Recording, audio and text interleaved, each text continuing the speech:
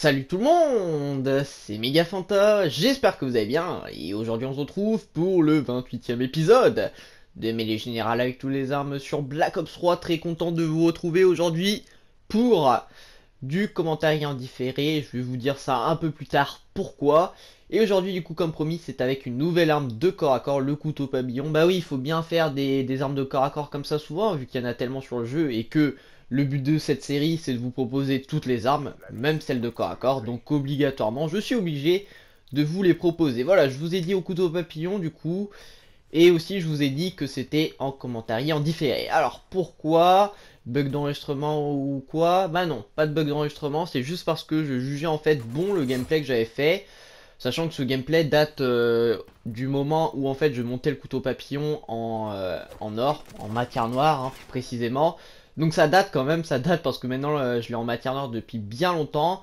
Mais j'ai préféré voilà garder ce gameplay plutôt que refaire un gameplay en live commentary qui pourrait être un peu moins bien. Et encore c'est pas sûr que je puisse le faire en live commentary vu qu'avec les bugs d'enregistrement c'est assez compliqué. Vous le savez tous maintenant, vu que je répète ça maintenant à chaque fois. Mais voilà, j'ai décidé de faire du coup un peu comme la hache enflammée. Et je vous le dis encore une fois, du coup, il y aura sûrement encore beaucoup de gameplay comme ça en différé avec les armes de corps à corps. Parce que à peu près avec tous les armes de corps à corps que je possède, j'ai fait des bons gameplays en mêlée générale quand je montais justement les armes.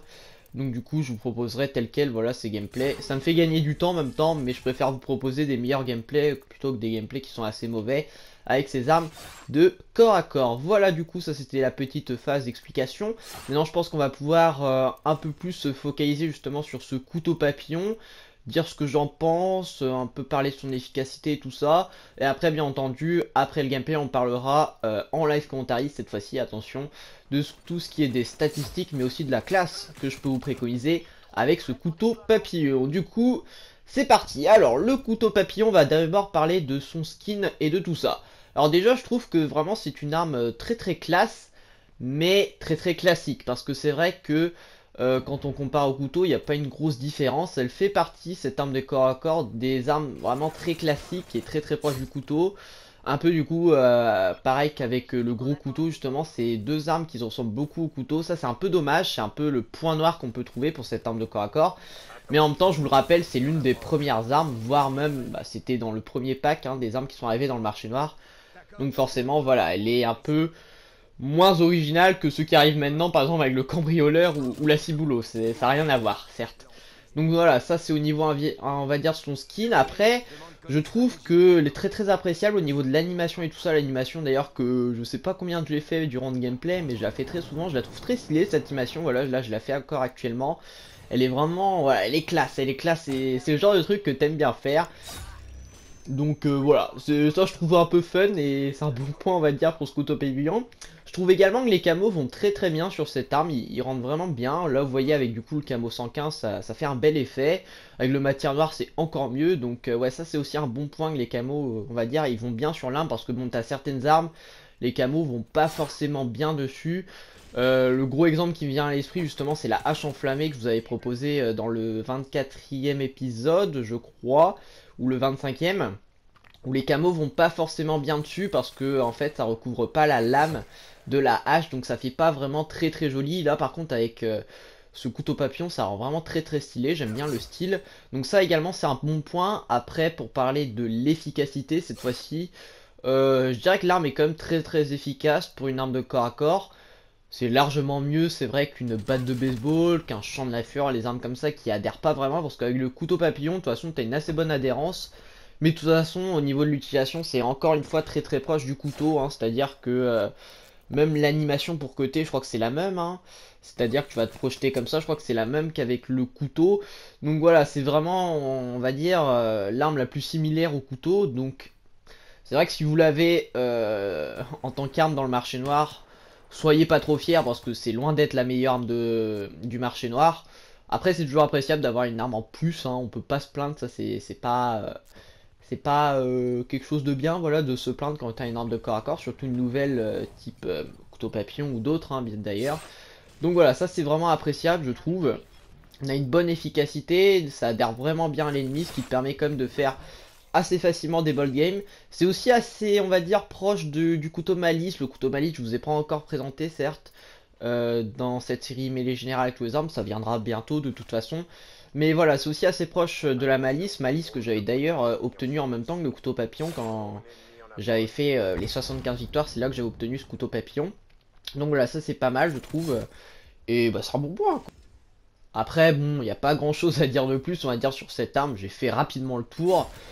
Donc on va un peu parler du gameplay. Là, vous voyez du coup que je suis en 18. Euh, Mon adversaire, en tout cas l'adversaire le plus dangereux, lui est dans 22. Il est en premier de la partie. On va voir si je vais la gagner cette partie. Mais sachant que je vous ai dit euh, que justement cette partie avec le couteau papillon, c'était normalement bien passé, que c'était une bonne game.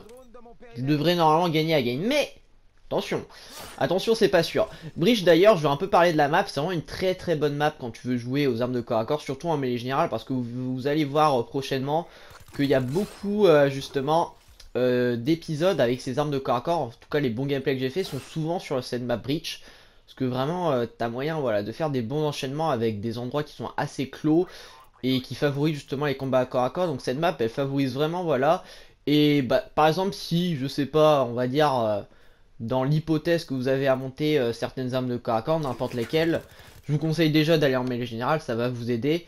Mais euh, si vous êtes sur la map Breach, profitez-en. Rien que pour les sanguinaires, ça va vraiment vous aider parce que euh, j'en ai fait hein, des sanguinaires sur cette map avec une diversité d'armes de corps à corps. Ça va beaucoup aider parce que c'est vraiment l'une des meilleures maps, je dirais, si tu veux jouer avec des armes de corps à corps. Donc faut vraiment en profiter. Là, vous voyez quand même que j'ai un peu du mal pour rattraper parce que quand même le premier est à 26, moi je suis à 23, donc c'est très très serré. Là, quand on regarde, c'est vrai que on pense que je vais perdre. Hein. Mais c'est pas fini, c'est pas fini. Surtout que là, je profite bien de tuer les AFK pour monter. Et là, vous voyez que je commence à le rattraper en plus. Hein. Le premier, je sais pas d'ailleurs à quelle arme il jouait. Mais bon, sûrement peut-être une VMP, une Poudre ou une merde comme ça. Hein. Non, c'était à la Razorback finalement. Je viens de voir la fine. Non, il était à la Razorback, donc ça va encore. Mais, c'est très serré là, il n'y a que deux kills de différence. Moi j'essaye toujours de rester dans cette zone là, dans ce spawn, parce que c'est là où tu as plus de facilité justement avec ces armes de corps à corps. Donc euh, tu vas pas non plus rusher au middle, sans que là tu vas être vraiment euh, trop exposé. Donc euh, autant de facilité à tâche aller dans les zones les plus propices pour jouer de la manière dont je joue, tu vois. Donc là, toujours la même avance, il est à 27, je suis à 25. Je crois que d'ailleurs, quand cette fin de gameplay, je vais un peu galérer à faire des kills. Et là, Attention Ah putain le fail Ouf, et là j'arrive à l'avoir. Et là-bas, lui par contre il m'a calmé au Marshall, hein. il a pas eu le temps de niaiser. Toi je te défonce, je vais te calmer. Ok ok, euh, on va se calmer monsieur, on va se calmer. Là c'est très serré et je comprenais pas en fait parce que le mec n'arrivait plus lui à faire de kill. Bon il était pas à l'arme de corps à corps donc je comprenais pas trop. Mais c'était plutôt tant mieux pour moi parce que grâce à ça j'ai réussi du coup vous voyez à le rattraper. Et grâce à ça, je vais même peut-être gagner, qui sait, c'est possible. Là, le petit couteau fail, deuxième couteau fail, on me pique le kill, c'est parfait. Couteau fail encore, et là, pas en enchaînement, c'est parfait. Et je passe en première position pour cette fin de gameplay. Il me reste un kill, le second, lui, il lui reste deux kills. C'est tendu, mais je vais quand même réussir à gagner, vous allez voir. Attention, pan Et du coup, je vais finir sur un 30 à 16, je crois. En tout cas, bah oui, c'est ça. En tout cas, on se retrouve maintenant tout de suite pour la partie live commentary. A tout de suite. C'est parti du coup pour l'analyse de ce couteau papillon, mais avant je vais vous lire la description qui nous est fournie de cette arme. Alors le couteau papillon c'est une lame mortelle qui peut être utilisée puis cachée rapidement. Oh mais c'est pratique dis donc ça Ne serait-ce pas le couteau des fourbes? Oui, peut-être. Alors, les statistiques de ce couteau papillon. Comme d'habitude, pour toutes les armes de corps à corps, je vous le dis, mais les stats sont toujours les mêmes, mais il y a quand même quelques variations entre les armes, du coup c'est important et notable de les préciser. Alors les dégâts, rien à dire, les dégâts sont toujours au max, c'est-à-dire que c'est du one shot, tu cut, tu tues, c'est forcément toujours la même chose. Ensuite, pour la portée, alors là la portée quand même ça peut un peu varier on va dire, parce que je trouve que tu vas quand même avoir une meilleure portée avec ce couteau papillon que tu peux en avoir avec le meilleur joueur, ou le champ de la fleur. Je l'ai répété durant le gameplay, mais je le répète encore une fois. On va dire que tu as une meilleure adhésion en fait avec ce couteau papillon. Tu vas mieux te projeter sur l'ennemi quand tu vas cutter.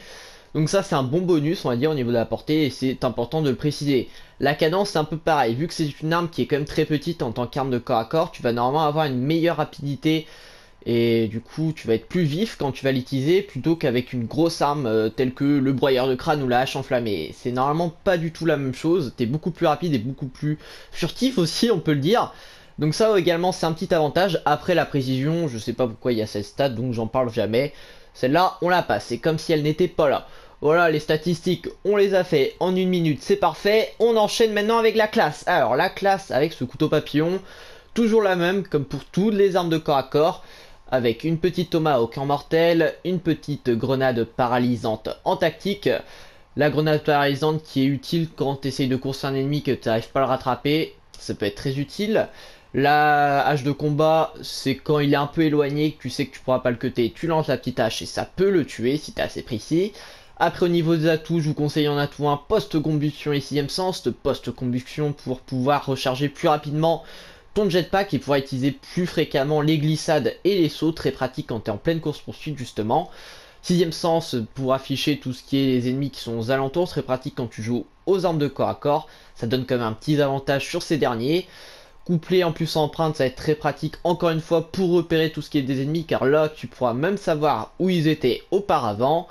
On a tout 3 impulsions furtif. Et silence lance, là on passe plus en mode furtif avec impulsion furtif qui va cacher du coup tous les mouvements de jetpack qu'on va faire.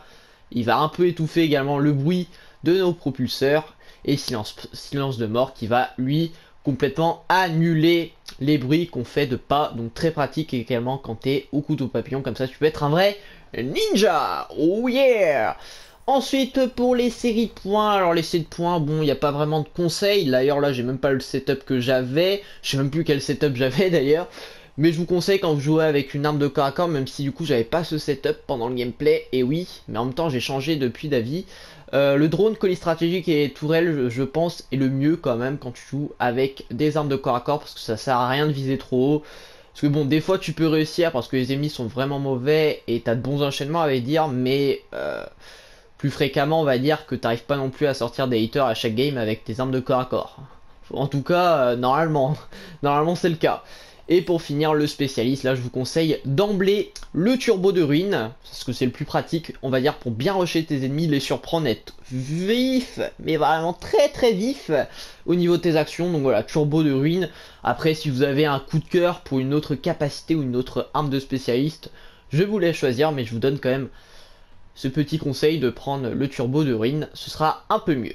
Voilà du coup pour cette phase un peu analyse qui n'a pas duré longtemps mais comme à chaque fois avec des armes de corps à corps, il n'y a pas grand chose à dire. J'espère du coup en tout cas que cet épisode vous a plu.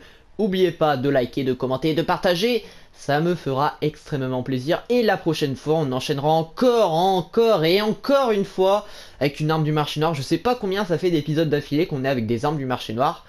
Mais euh, ça fait euh, maintenant une bonne série on va dire que j'enchaîne d'armes de marché noir. Mais on continue et ce sera du coup avec le MX Garant la prochaine fois. Ce sera du coup normalement samedi prochain. Allez bye tout le monde Oh yeah